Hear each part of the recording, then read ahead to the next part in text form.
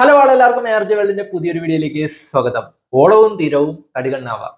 ഈ രണ്ട് ഷോർട്ട് ഫിലിംസിനെ പറ്റിയിട്ടുള്ള എന്റെ അഭിപ്രായം പറയാനായിട്ടാണ് ഈ ഒരു വീഡിയോ ഞാൻ ചെയ്യുന്നത്. ഓളവും തീരവും കടികണ്ണാവ. ഇത് രണ്ടും എം ഡി വാസുദേവൻ നായർ എന്ന ലെജൻഡറി റൈറ്ററിന്റെ രണ്ട് ഷോർട്ട് സ്റ്റോറീസ് ആണ്. ഇത് ഇപ്പം ഈ രണ്ട് ഷോർട്ട് ഫിലിം ആയിട്ട് വന്നിരിക്കുന്നത് മനോരഥങ്ങൾ എന്ന വെബ് സീരീസിന്റെ ഭാഗമായിട്ടാണ്. അതായത് എം ഡി വാസുദേവൻ നായരുടെ ഒമ്പത് ഷോർട്ട് സ്റ്റോറീസിനെ ആസ്പദമാക്കിയിട്ട് വന്നിട്ടുള്ള ഒരു അന്തോളജി വെബ് സീരീസ് ആണ് മനോരഥങ്ങൾ.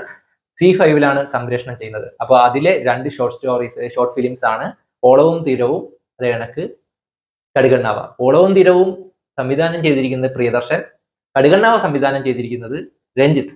ഓളവും തീരവും എന്ന ആ ഒരു ഷോർട്ട് ഫിലിമിൽ നായകനായിട്ട് വന്നിരിക്കുന്നത് നമ്മുടെ സ്വന്തം ലാലേട്ടൻ കടുകണ്ണാവയിൽ നമ്മുടെ സ്വന്തം മമ്മൂക്ക.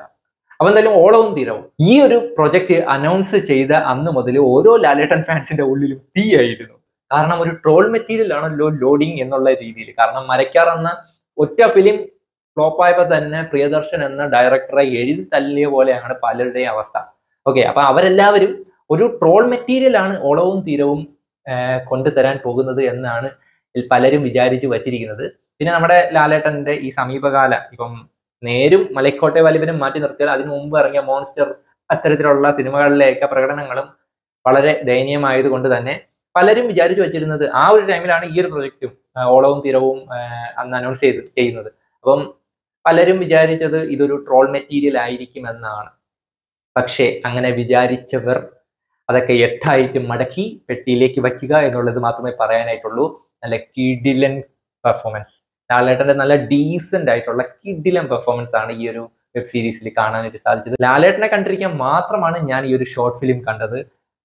പുള്ളിയെ ബ്ലാക്ക് ആൻഡ് വൈറ്റ് കാണാൻ എന്ത് ഭംഗിയാണ് ശരിക്കും പറഞ്ഞാൽ ഇത്രയും ഭംഗിയുള്ള ഒരു നടനെ ബ്ലാക്ക് ആൻഡ് വൈറ്റിൽ ഇത്രയും ഭംഗിയുള്ള ഒരു നടനെ ഞാൻ കണ്ടിട്ടില്ല. ഈ ഒരു ഫിലിമിനകത്ത് എന്തോ ഒരു ഭംഗിയായിരുന്നു ലാലേട്ടനെ കണ്ടിരിക്കാൻ തന്നെ. നല്ല ഡീസന്റ് ആയിട്ടുള്ള പെർഫോമൻസ് പിന്നെ ലാലേട്ടന്റെ സ്ലാങ്ങിനെ ട്രോളാൻ വേണ്ടി കുറേവന്മാര് കാത്തിരുന്നല്ലോ. അപ്പോഴും എട്ടായിട്ട് മടക്കി പെട്ടിയിലാക്കി വെക്കുന്നതായിരിക്കും നല്ലത്. ഒന്നും ഏഷ്യാൻ പോകുന്നില്ല ഇവിടെ. നല്ല ഡീസന്റ് ആയിട്ട് തന്നെയാണ് സ്ലാങ്ങും കാര്യങ്ങളും ഒക്കെ ഇവിടെ വന്നിട്ടുള്ളത്. ലാലേട്ടൻ നല്ല പോലെ അത് കൈകാര്യം ചെയ്തിട്ടുമുണ്ട്. ലാലേട്ടന്റെ പെർഫോമൻസ് അടിപൊളിയായിരുന്നു കേട്ടോ. പിന്നെ ലാലേട്ടന്റെ റേഞ്ച് വെച്ചിട്ട് ഇതുക്കും മേലെയാണെങ്കിലും നല്ല കിഡിലനായിട്ട് തന്നെ എന്നും ഈ ഒരു ഓളവും തിരുവ എന്ന ഷോർട്ട് ഫിലിം കാണുന്നവരുടെ ഉള്ളിൽ നിലനിൽക്കുന്ന രീതിയിൽ തന്നെ ബാപ്പുട്ടി എന്ന ക്യാരക്ടറിനെ മോഹൻലാൽ എന്ന ആ ഒരു മഹാ നടൻ ചെയ്തു വച്ചിട്ടുണ്ട്. ശരിക്കും പറഞ്ഞാൽ എനിക്കും ഈ ഒരു പ്രൊജക്ട് അനൗൺസ് ചെയ്തപ്പോൾ തൊട്ട് ഒരു പേടി ഉണ്ടായിരുന്നു കാരണം അറുപത് വർഷത്തോളം പഴക്കമുള്ള ഒരു കഥയാണ്. സോ ആ ഒരു കഥ ഇങ്ങനെ ഒരു പുതിയ കാലഘട്ടത്തിൽ ഇതേ കണക്ക് വെബ് സീരീസിന്റെ ഭാഗമായിട്ട് ഷോർട്ട് ഫിലിമായിട്ട് വരുമ്പോഴത്തേക്കും എങ്ങനെ അത് എല്ലാവരും അക്സെപ്റ്റ് ചെയ്യുമെന്ന് ഒരിക്കലും പറയാൻ സാധിക്കത്തില്ല. ചിലപ്പോ ഓവർ ഡ്രാമാറ്റിക് ആവാം അഭിനയിക്കുന്നവരെല്ലാം അങ്ങനെ ആയി മാറിയേക്കാം എന്നുള്ളൊരു പേടി മനസ്സിലുണ്ടായിരുന്നു. പക്ഷേ പ്രിയദർശൻ എന്ന ഡയറക്ടർ ഞെട്ടിച്ചു. കാരണം ഈ ഒരു അറുപത് വർഷത്തോളം അല്ലെങ്കിൽ അറുപതിൽ കൂടുതൽ വർഷം പഴക്കമുള്ള ഒരു കഥ ഒരു ചെറിയ കഥയാണ്. അത് പറഞ്ഞ് പഴകി പഴകി പഴകിയ ഒരു കഥയെ ഇത്രയും വാച്ചബിൾ ആയിട്ട് എടുത്ത് വയ്ക്കണമെങ്കിൽ അത് ആ ഒരു ഡയറക്ടറുടെ റേഞ്ച് തന്നെയാണ് കാണിക്കുന്നത്. ഓളവും തീരവും എന്ന ഈ ഒരു ഷോർട്ട് സ്റ്റോറി ബ്ലാക്ക് ആൻഡ് വൈറ്റിൽ ചിത്രീകരിക്കുക എന്നെടുത്ത ആ ഒരു തീരുമാനമാണ് ഏറ്റവും നല്ല തീരുമാനം.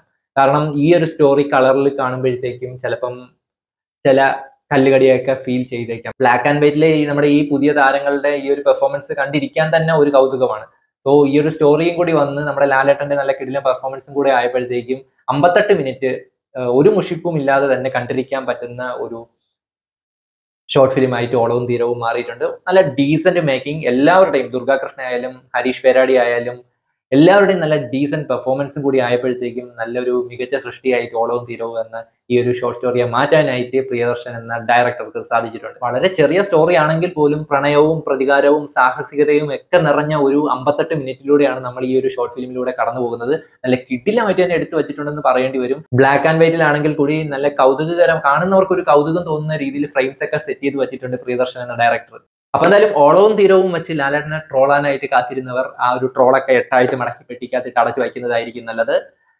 ലാലേട്ടൻ പൊളിച്ച് ഞെട്ടിച്ചു എന്ന് പറയുന്നതാണ് അൺഎക്സ്പെക്റ്റഡ് ആയിട്ടുള്ള ഒരു സംഭവമായിരുന്നു എനിക്ക് ഓളവും തീരവും സമ്മാനിച്ചത്. കാരണം മുഷിപ്പായിരിക്കും എന്നൊക്കെ വിചാരിച്ച് ലാലേട്ടനെ കാണാൻ വേണ്ടി ഇത് രണ്ടും കടുകണ്ണാവയും ആയാലും ഈ ഓളവും തീരവും ആയാലും ലാലേട്ടനെയും മമ്മൂക്കയും അത്രയും നേരം കണ്ടിരിക്കാൻ വേണ്ടി അവരുടെ പെർഫോമൻസ് കാണുക എന്നുള്ളൊരു ഉദ്ദേശം വെച്ച് മാത്രമാണ് ഞാൻ ഇത് കാണാനായിട്ടിരുന്നത് അതായത് രാത്രി പന്ത്രണ്ട് മണി ഇറങ്ങിയ ആ ഒരു ടൈമിൽ തന്നെ ഉറക്കമണിട്ടിരുന്ന് അത് കണ്ടത് ഇവരുടെ പെർഫോമൻസ് കാണുക എന്നുള്ളൊരു ആ ഒരു ആകാംക്ഷയ്ക്ക് പുറത്താണ് ഞാൻ ഇത് കാണാനായിട്ട് ഇരുന്നത് അത് എനിക്ക് മനസ്സ് നിറച്ച് ലാലേട്ടൻ അത് ഭംഗിയാക്കി തന്നിട്ടുണ്ട്.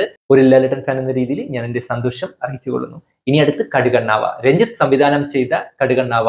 മമ്മൂക്ക മമ്മൂക്കയ്ക്ക് ശരിക്കും പറഞ്ഞ പെർഫോം ചെയ്യാനായിട്ടുള്ള ഒരു സ്പേസ് ഇതിനകത്ത് ഇല്ലായിരുന്നു അത്രമാത്രം വലിയ ഒരു ഡീറ്റെയിലിംഗ് ഉള്ള ഒരു സ്റ്റോറിയോ കാര്യങ്ങളോ ഒന്നുമല്ല. ഒരു തേർട്ടി മിനിറ്റിൽ തീരുന്ന ഒരു ഷോർട്ട് ഫിലിം അത്രയ്ക്ക് ചെറിയ ഒരു സ്റ്റോറിയാണ് പക്ഷേ മമ്മൂക്ക നല്ല ഡീസന്റ് ആയിട്ട് നല്ല കിടിലിനായിട്ട് തന്നെ ചെയ്തു വെച്ചിട്ടുണ്ട്. വേണുഗോപാൽ എന്ന ആ ഒരു ക്യാരക്ടറിനെ നല്ല കിടിലിനായിട്ട് തന്നെ മമ്മൂക്ക ആ ഒരു ഷോർട്ട് ഫിലിമിൽ ചെയ്തു വെച്ചിട്ടുണ്ട്. പക്ഷെ മമ്മൂക്കയ്ക്ക് പെർഫോം ചെയ്യാനായിട്ട് ഒന്നുമില്ല. ഒരു ആനവായിൽ അമ്പഴങ്ങ എന്ന് പറയാൻ പോലും ഒന്നും ഇല്ലാത്ത രീതിയിലൊരു ചെറിയൊരു ക്യാരക്ടറായിട്ടാണ് എനിക്ക് ഇത് കണ്ടപ്പോഴത്തേക്കും ഫീൽ ചെയ്തത്.